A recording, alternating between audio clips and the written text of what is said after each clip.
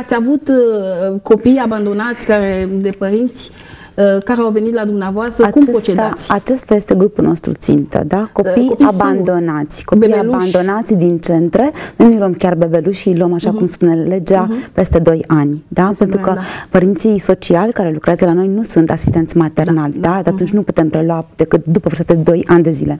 Vreau să fiu și optimistă și sunt da. optimistă pentru că de 7 ani putem să spunem că de 7 ani lucrez eu, de fapt, și vreau să spun că succesul pe care noi îl măsurăm um, este într-o proporție foarte mare de peste 80%.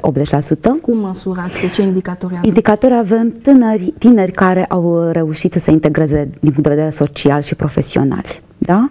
Atunci când vedem câți tineri au ieșit din asistarea noastră și au astăzi propria familie și cu proprii copilași pe care nu i-ar abandona niciodată, asta este măsura succesului nostru.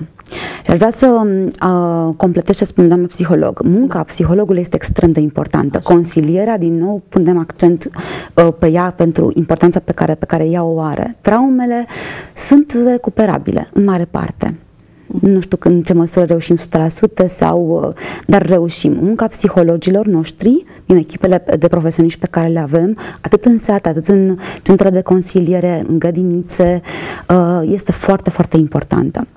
Uh, noi nu ne propunem să ținem copiii, să spunem, îi putem îi sprijinim până la 26 de ani, cum spune legea, dacă ei sunt, au nevoie de sprijinul nostru pentru că urmează o formă de învățământ la zi. Sau până la 18 ani, dacă renunță la, mă rog, nu merg la facultate și atunci sunt sprijiniți încă 3 ani pentru atâta vreme cât lucrează. Scopul nostru este, de fapt, să-i reintegrăm în familia biologică.